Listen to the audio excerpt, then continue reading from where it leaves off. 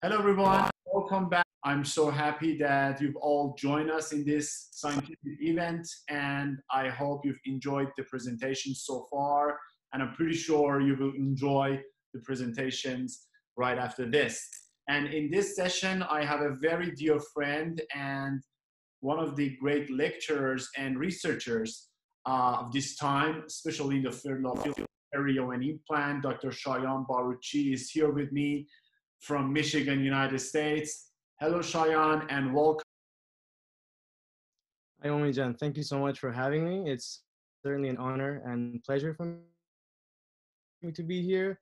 Um, I've always enjoyed, uh, certainly enjoyed the chance to, to lecture for my fellow Iranian friends and colleagues, and it's really a true pleasure to be here and share some research and some of the things we've been doing here in the past uh, few years. So thank you. Thank you for having me. Thank you so much for accepting the invitation, my friend. Well, the topic that Shai I'm going to talk about for us is actually a very, very hot topic and interesting topic in the field of perio and implant. And one of the things that we really should stick to the principles and know the idea behind it because it really helps to improve the uh, outcome of the treatment for our patients. And the topic is the periodontal and peri-implant soft tissue phenotype its modification therapies, and clinical ramifications.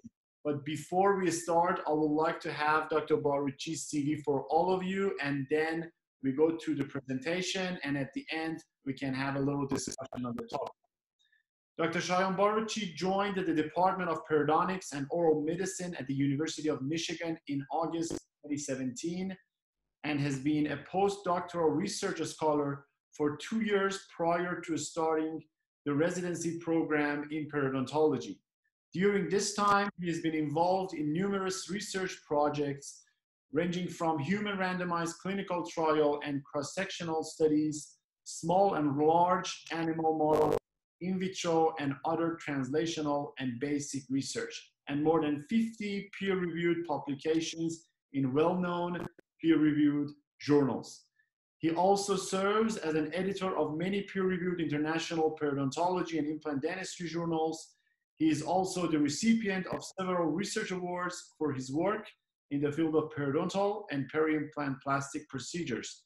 His current research focuses on periodontal and peri-implant hard and soft tissue regeneration, as well as contemporary methods for the treatment of peri-implantitis and maintenance of health. With that said, dear Shayan, we are ready for your beautiful presentation and the platform is all yours. And we're looking forward for the discussion at the end of it. All right. Thank you, Omijan. Thanks again for the very kind uh, introduction. Uh, so, yes. All right. So as you very well said, uh, it's certainly a hot topic the field of periodontal and periodontal soft tissue phenotype. And it's really a pleasure for me to be able to discuss with this topic today. This is a field that we've been doing a lot of research on. I'm very passionate about this topic, and I've had the pleasure to be working with a lot of uh, certain, you know, unique individuals um, to help me be able to evolve and uh, learn more about this field. And I'm going to be sharing some of the details uh, of more uh, the background, rational science, and also the clinical aspect for you today. So Starting with that, I want to show you cases. Uh, looking at the periodontal phenotype, we can see a lot of cases like this in our clinics these days. And here you can see the fragility of that soft tissue that you can see in the anterior incisors. There's a patient who had previous periodontal procedure done. It's a very young patient where you can see some sort of, you know, cases like this where you have abrasion, severe abrasion of the gingiva and of the mucosa of, let's say, teeth or implants. But here, for example, you can see that it's been severely abraded on the, on the root surface, leading to a non-cervical lesion in concomitancy with also the apical shift of the gingival margin. Or for example, cases like this, another consequence of severe orthodontic therapy. But when we look at implants, we can see also this case exists when we look at the phenotype of implants as well. You can see that severe or great deficiency in soft tissue, thickness or bulkiness, the quality can exist in cases like this, Or, for example, like this, where you can see there's even that thin soft tissue around the implants, as well as uh, also an apical shift of the mucosa in that region, or something like this. Now, this brings me to my topic of the phenotype.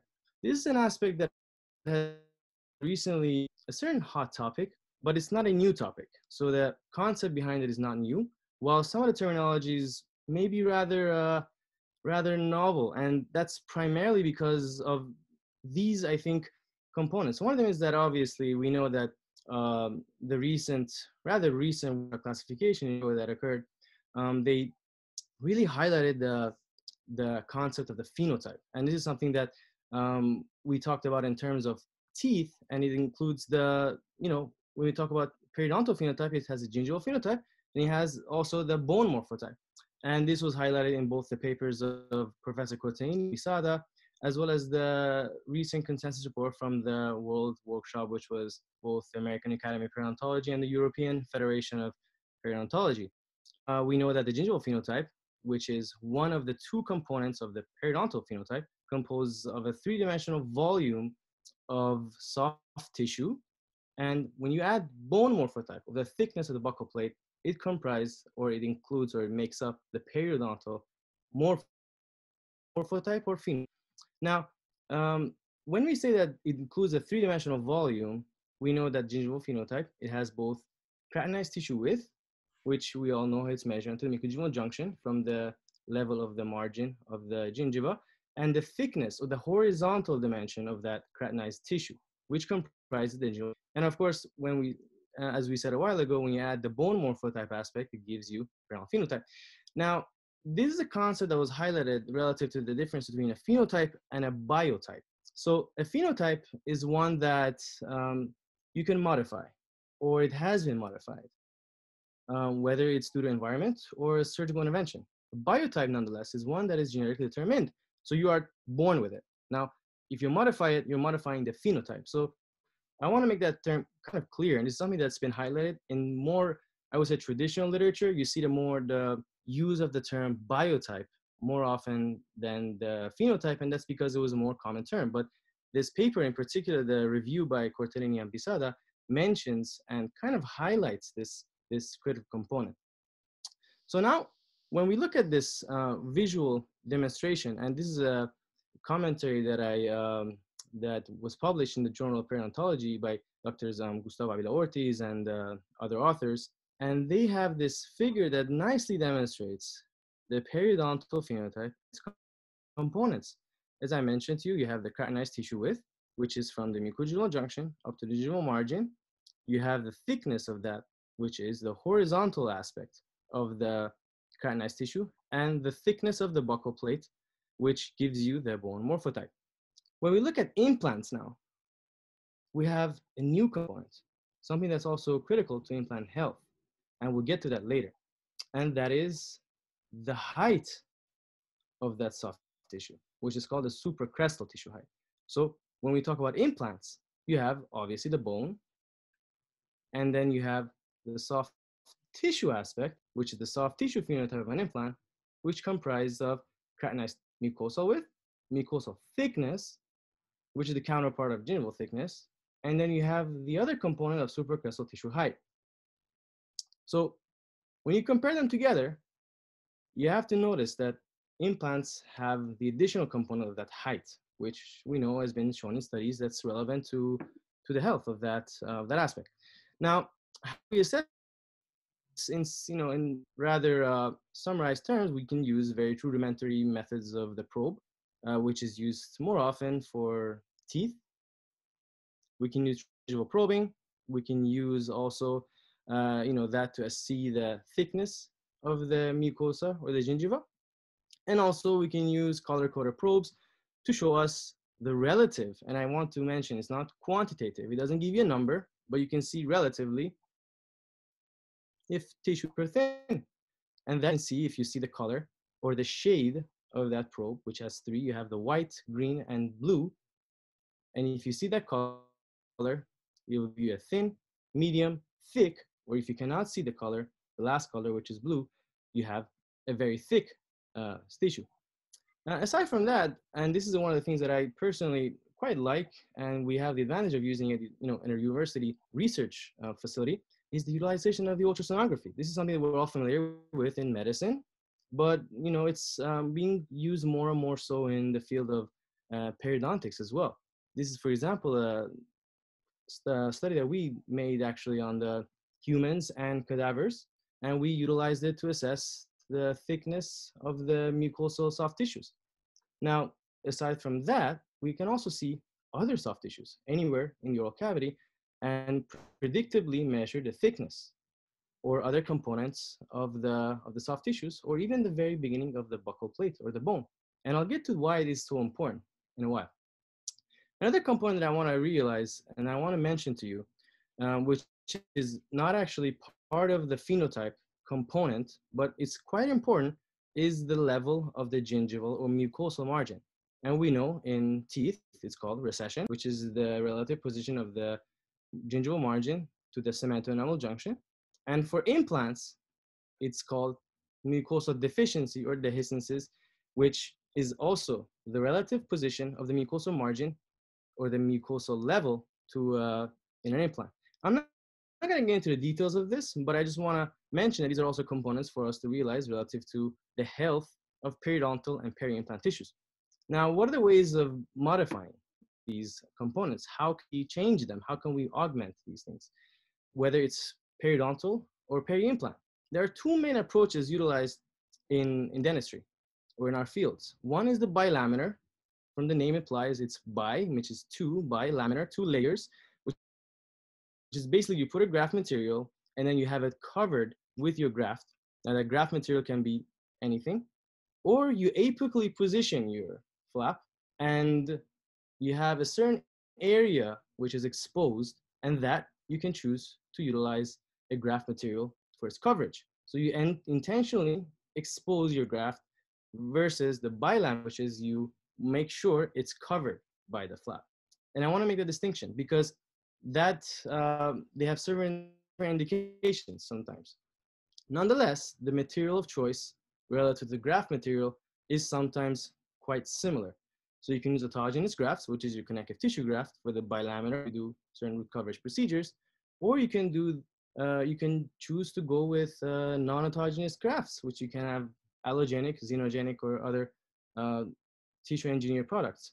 Same thing for autogenous. Uh, I'm sorry, for the non-root coverage or non, let's say, or the APF-based uh, approaches. Now, this is an example of a bilaminar approach. You see you here, you have a rather shallow or very small amount of keratinized tissue, and you can almost see the root through the gingival margin over here. So it's very, very thin. Here we use a connective tissue graft, and we covered that site, and we cover it with our flap material, giving it two layers. So you have one layer is the graft, the other layer is the flap, and that's the bilaminar approach.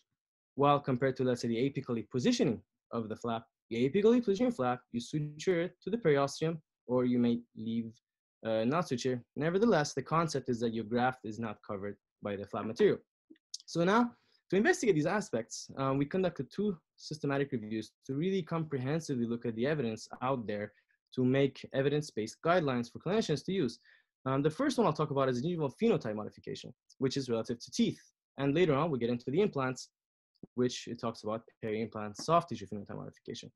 And we were trying to see what are the approaches that are used for modifying the soft tissue phenotype and both in root coverage or bilaminar and non-root coverage or APF-based procedures. And what are the outcomes uh, relative to health and if they're maintained over time, which is very critical when patients ask us this question. Well, doctor, now you treated this and is the result going to stay or am I going to have to do this again in five years or in two years? So again, we divided results mm.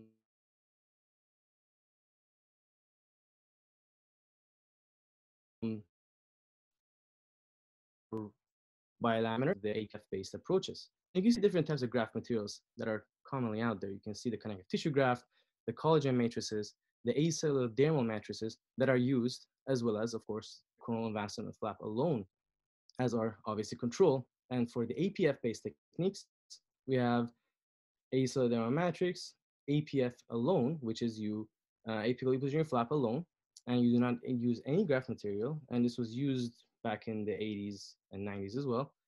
Collagen matrices, living cellular constructs, and untreated sites as control. And of course, the most traditional and the most the ones that we know, free gingival graft with the use of the autogenous uh, soft tissue. So in our results, and I'll make it uh, concise, is that for gaining tissue width, connective tissue graft is the most predictable um, graft material that we have, followed by the acellular matrix that can also give you keratinized tissue, while we did not find this for the utilization of the collagen matrices. And we noticed that if you have a certain level of keratinized tissue gain, it may be able to help over time in terms of stopping the progression of having future recessions. So this is very important. A lot of times we treat cases and they have relapse. This can give us a hint as to if we increase keratinized tissue width, it may be able to help us in terms of maintaining the level that we obtained at six or 12 months which is a short-term recall. Now, relative to gingival thickness, we noticed that all treatments can predictably lead to an increased or significant gain in thickness, and we didn't realize that there was any relapse in the treatment. So basically, if you augment your gingival thickness, uh, utilization of any other material, your outcomes at six months or 12 months is maintained over time shrinkage in terms of the horizontal component um, of that early obtained results. And what's really important here is that we noticed that if you are gingival thickness, your early results in terms of increasing thickness can lead to a very significant stability of the gingival margin. So basically, the more you increase your gingival thickness, the less chance for recession over time.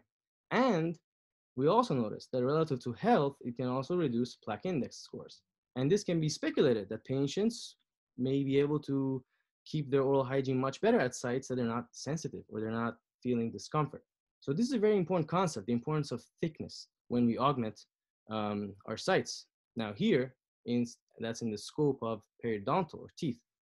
And another aspect that we realized was that keratinized tissue is boosted much more by connective tissue grafts rather than the gingival thickness. Because as we said gingival thickness can be augmented by almost any graft while keratinized tissue is much more difficult to obtain with your graft material than thickness because thickness you can get with any graft material. Now relative to apf based approaches or non-root covers based approaches once you apically position your flap you can pretty much get a uh, good amount of keratinized tissue even with your APF alone. However, once you utilize free gingival graft, you get the most benefit of your treatment. And also, once you use a free gingival graft, you may be able to obtain a decrease in recession, even though this, as I said before, your aim here is not to gain back gingival margin. It's not only with coverage, but the ability of the autogenous graft to migrate coronally over time it's called the creeping attachment. And we know even though it's not very predictable, but it does occur quite a lot. And therefore you have a decrease in recession over time. And obviously also KT again leads to significant reduction in plaque scores. So again, relative to health, if you increase keratinized tissue and if you increase gingival thickness, in particular thickness of the gingiva, you get a better um, stability of your health and much more reduction in chance for future gingival recessions. And these are just the two figures that we, uh, and we also fabricated uh, for you know interested readers if they would like to have pairwise comparisons. But I'm not going to get into these details today. So now looking at some examples of the bilaminar approach, here, for instance, you see how there is, uh, for example, here we have a gingival recession. The flap is advanced, uh, is reflected afterwards, we will use our grafting material, long story short, we uh, make sure the graft is stable. And then again, we coronally advance our flap and we have that bilayer component to cover that graft that we um, placed secured stable on the root surface and therefore you have our results. And here we gained a good amount of keratinized tissue and thickness, which will tell me that my results are going to be stable. Another case, here is a multiple um, gingival recessions were treated. Here we use connective tissue graft for selective utilization. We didn't place the connective tissue graft all around. We only use it for selective areas that we think fit the most out of this connective tissue graft. And you see here, the results of one year, you have increased thickness exactly where I placed my connective tissue graft, and also good results, stable at one year. And I'm sure it'll be stable over time because I gained this thickness. Aside from the areas that we use the coronally advanced flap procedure, we know that we also know that you can utilize the tunneling procedures where we have to very minimally invasively try to uh, put our, uh, our incisions only at the level of the gingival margin, trying to spare those papillas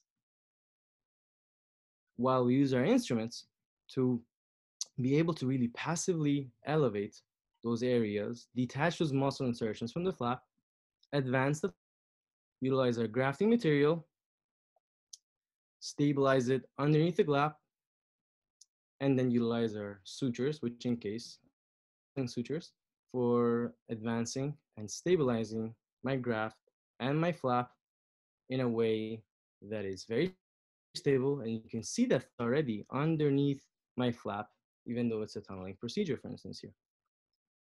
Now, there are times that patients may not want for us to harvest a piece of their palate. Some patients are against it. Can we use other materials? Yes, we can. Here, we elevated our flap.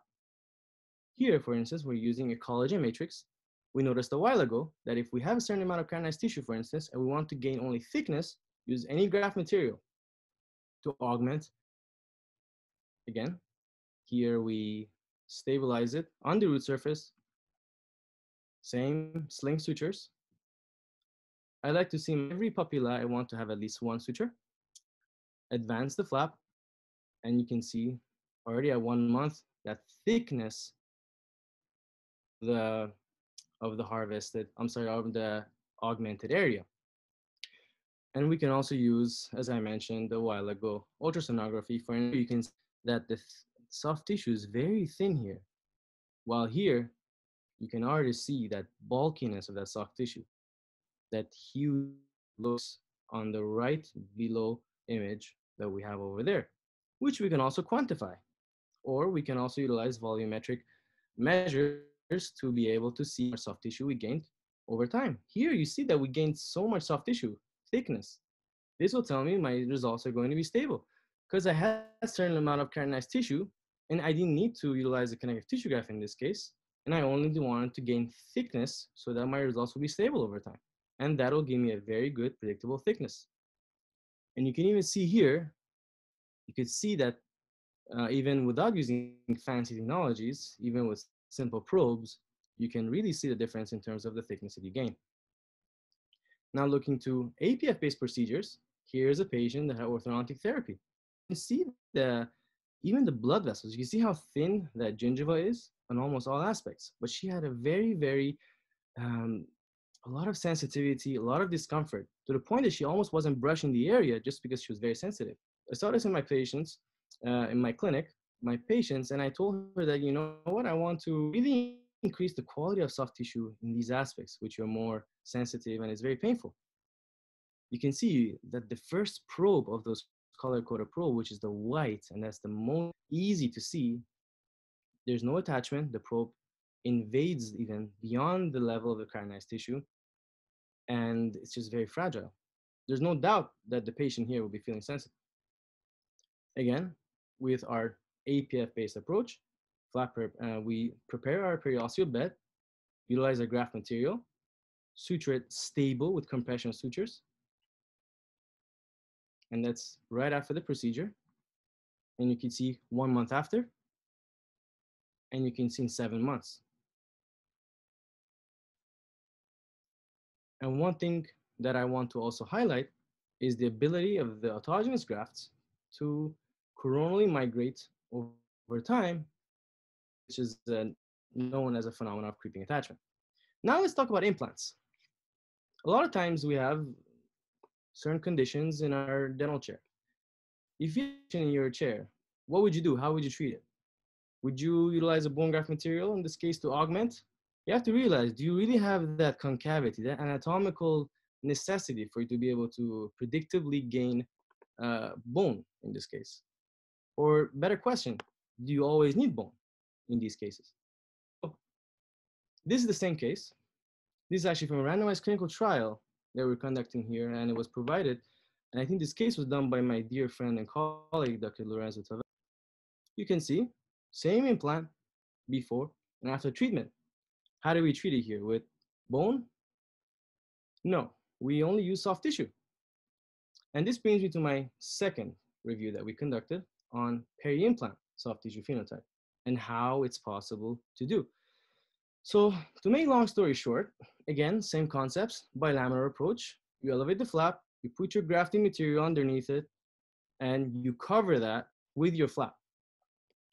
And bilaminar approaches in implants, you can use the acellular matrix, collagen matrix, the connective tissue graft, and other materials. And here what we noticed was that mucosal thickness, the big biggest gain was with autogenous tissue graft, which is the connective tissue graft, followed by the acellular matrix, which was higher than collagen matrices relative to thickness. However, rather than keratinized mucosal gain or keratinized tissue gain, there was not a lot of difference in terms of the gain that you can get in terms uh, relative to the treatment. A little bit higher for connective tissue grafts, but not significantly higher. Now, relative to the APF-based approaches, where you apically position your flap and utilize your grafting material right exactly where you need it and use periosteal and compression sutures to firmly stabilize your graft to the site that is needed, we utilize that all treatments can provide you a very good amount of keratinized tissue gain because again, if you realize you apically position your graft, even if you apically position five, six millimeters, it's very likely that just by positioning it at a lower level, you are going to get some scar tissue formation, possibly. Is it predictable? No, but it's likely to get. So even if you don't use any graft material, you will gain some keratinized tissue. But you have to realize that the biggest one and the most predictable one is your autogenous free gingival graft, which you get about four millimeters more than if you don't treat the sites or if it's non-augmented among all your other materials of choice. So we talked about all these components. Now, how are they relevant to health? And I think this is a very important concept for us to think about when we talk about implants in particular, because we know that there's the high rise emergence of peri-implantitis and perimyositis diseases. And are there really gold standard treatments? I think so. So it's for us to be able to prevent these conditions. And how can we prevent it? By gaining good quality of tissue around their implants that patients can that patients can be able to maintain well and the site can actually benefit from it significantly. So we noticed that relative to health, connective tissue graft and collagen matrices showed much more better results in terms of marginal bone level stability. Meaning if you graft sites with your collagen matrix or connective tissue grafts, you have better stability of your marginal bone levels around the implants.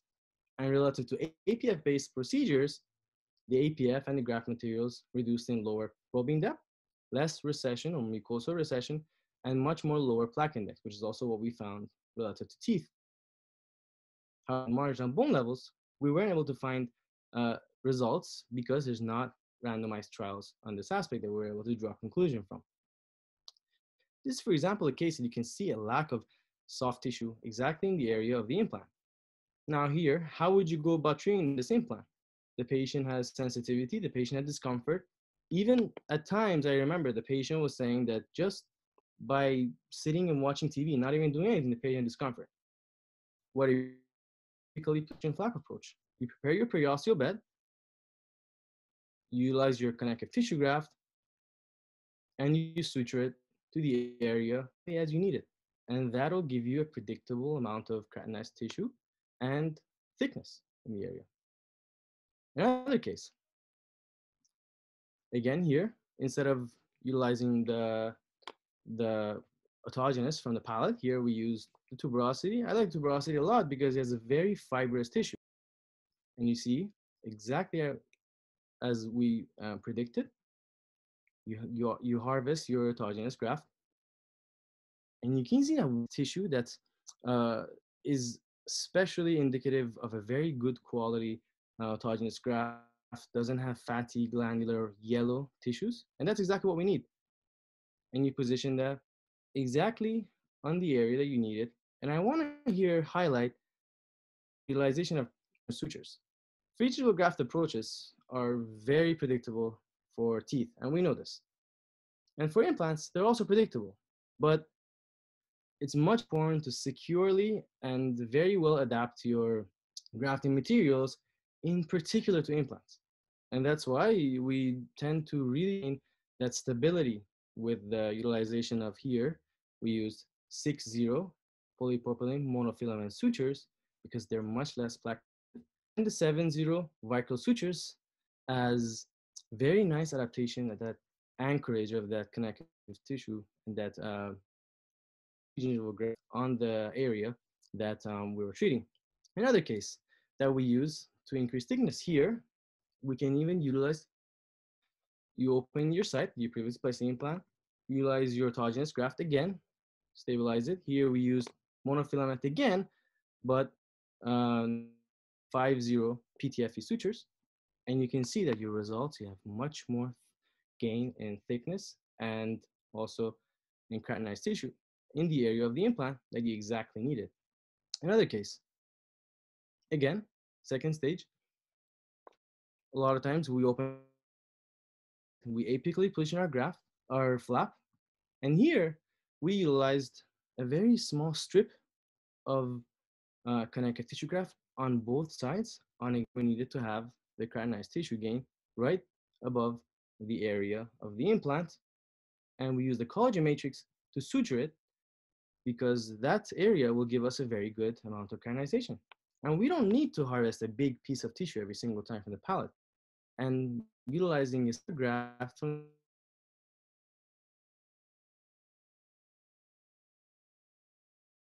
patient's palate will significantly reduce our morbidity.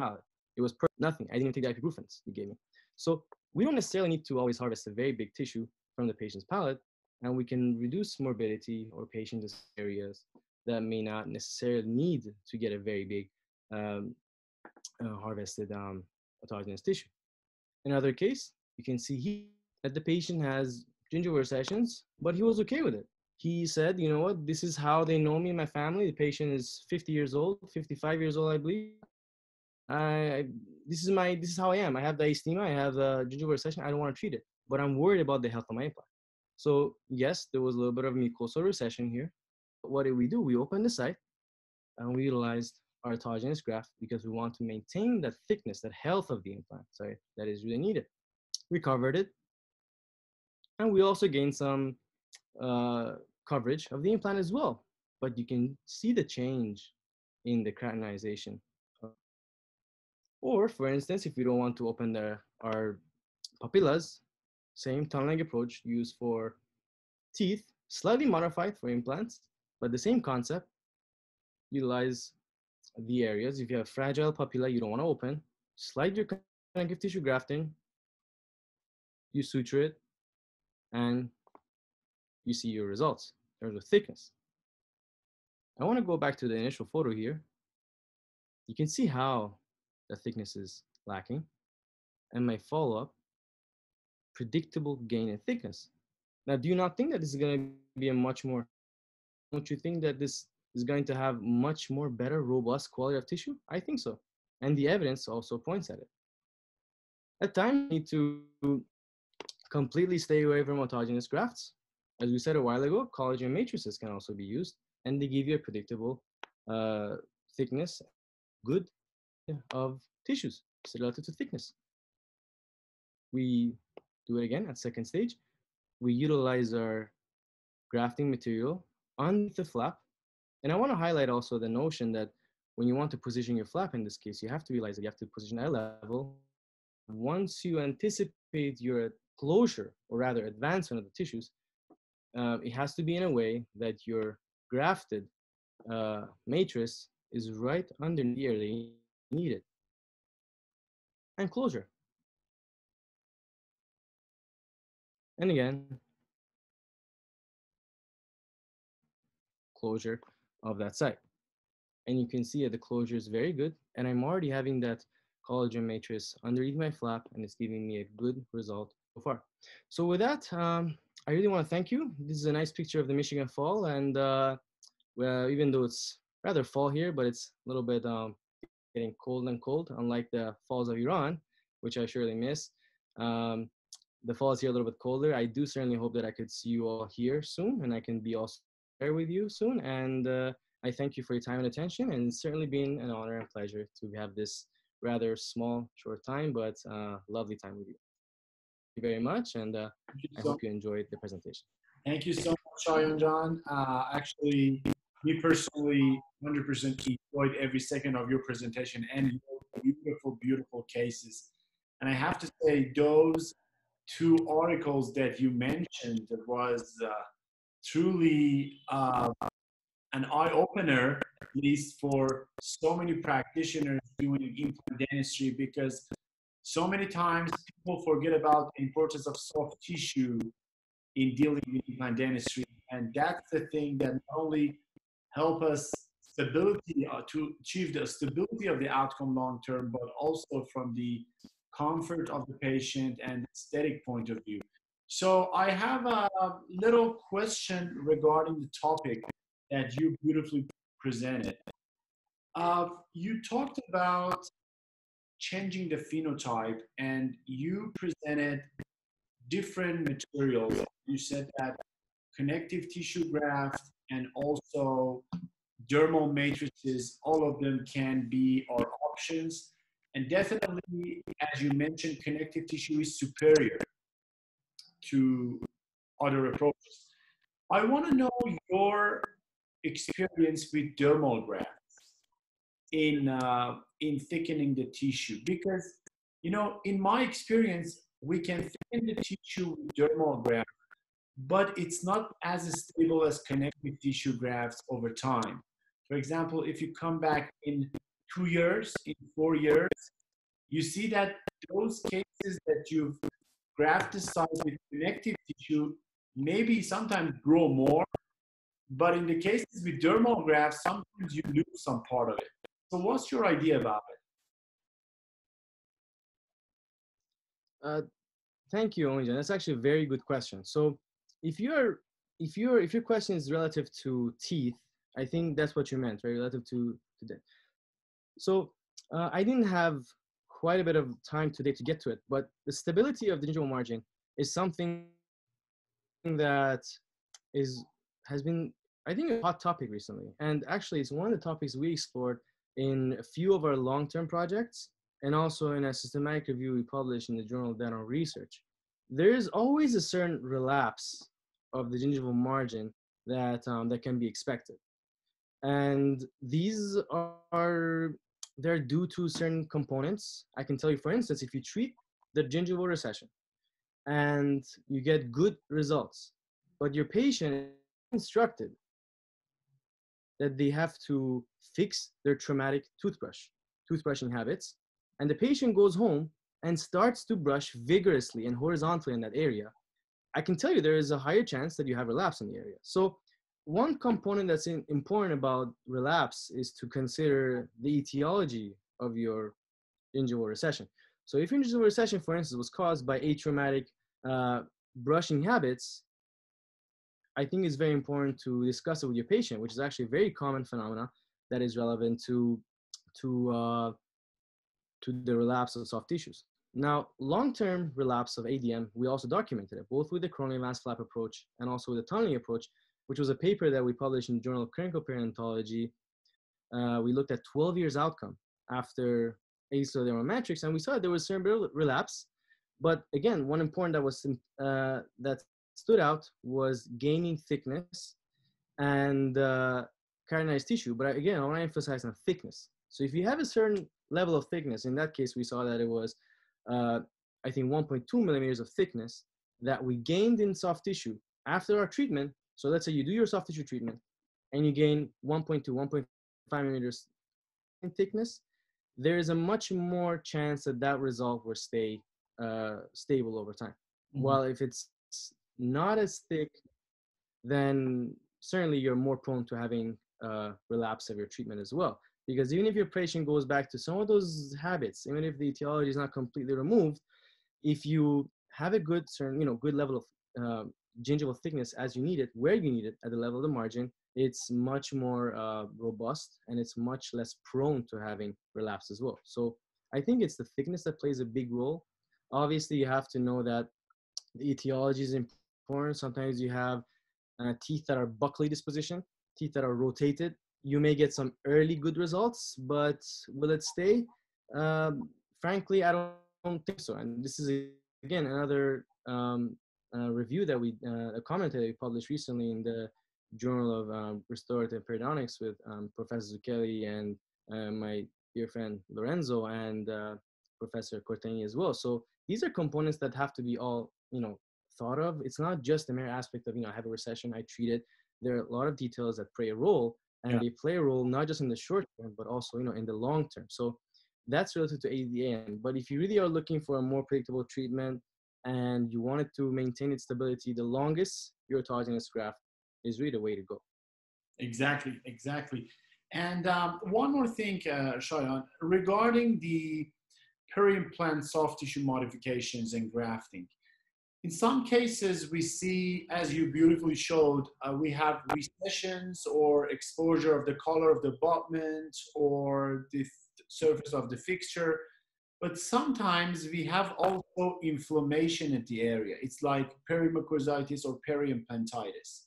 So do you recommend thickening the tissue at the time of treatment of the inflammation around the implant or you prefer to go stage? First, doing the surgery, flap surgery, and remove all the granulation tissue, let it heal, and come back and do the tissue graft again. So, Omija, this is, I think it goes in line with my previous uh, reply that you got to really keep the etiology in mind. If you're dealing with an implant that is infected and it has bacteria, it has inflammation, it has, uh, you know, all that, even if you probe it bleeds, suppuration, that's a that's something you want to take care of first, because if your if your site is not clean, your surgery will not work. And this is a concept that even, even if you think of it traditionally, even from years ago, which is the same thing that root conditioning for teeth, that a lot of people may not really pay attention to, uh, was set forth. That if you want to put your graft material on a root surface, you root plane the area, you use, well, we use EDTA, for example, we use EDTA after we, uh, the tooth, but the same thing on implants. You got to make sure the implant is healthy before you try to augment it, because if it's not healthy, then it's uh, a lot of times your uh, your procedure may not work. Now, is there literature on this? Frankly, I don't know of it. That let's say they compare in a randomized trial doing an FGG and a healthy versus implant. Uh, but I personally don't think that if you can, you know, if you do a surgery in a site that is not healthy, it will give you all the good results. So I would say take care of the mucositis first, clean it. And with mucositis, I wouldn't say you need to flap the area a lot of times with peri-implant mucositis, you can just do mechanical debridement. You can give some uh, local, uh, you know, antimicrobials and uh, of your preference. Some people even like to do laser therapy.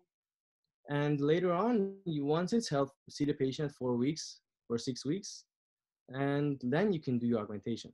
So I would say take care of the etiology first, clean it, try to get the area healthy, and then do your augmentation. But the augmentation is quite important if yeah. there is a lack. Yeah, if I if I get it right, because my question definitely was, uh, I mean, directed in a way that yes, we should completely clean the area. But my question was this: I will clean the area now, and then after cleaning, is it okay for me to do soft tissue graft at the same session, or you prefer to completely follow the patient, make sure that it got healthy and then do the grafting. I think you will agree with the second part. completely treat the patient and Yeah. patient come back in the follow-up and then we can do the Yes. soft tissue graft. Yes, that's a great Yes. Thank you so much, Yes. Anton. Uh, it was truly my pleasure to be a host, and I'm pretty sure all of our audience have enjoyed your comprehensive presentation on this topic. And as I said, and also you mentioned, it's one of the hottest topics days. And I think it it was also from years ago, but guys like you really open it up in a new direction and we are really thankful for that and really looking forward to see you very soon. And thank you again. Stay healthy, my friend. Thank you, thank you, Omijan. Thank you so much. Again, um, I I really have to say this has been a pleasure for me to to have to give this talk. Um, certainly, I've been lucky enough to be in an environment that uh, really uh, we do a lot of research on what we like. So thank you for this opportunity for me to be able to share some of our findings. Uh, I would love to be able to have done this in person, but obviously we're in rather uh, crazy times. So hopefully in the future we'll all be having these things face to face. Thank you again for having me. I thoroughly enjoyed it and it was an honor. Thank you so much. Sure. Thank you so much. Take care. Thank you. You're welcome. Bye bye.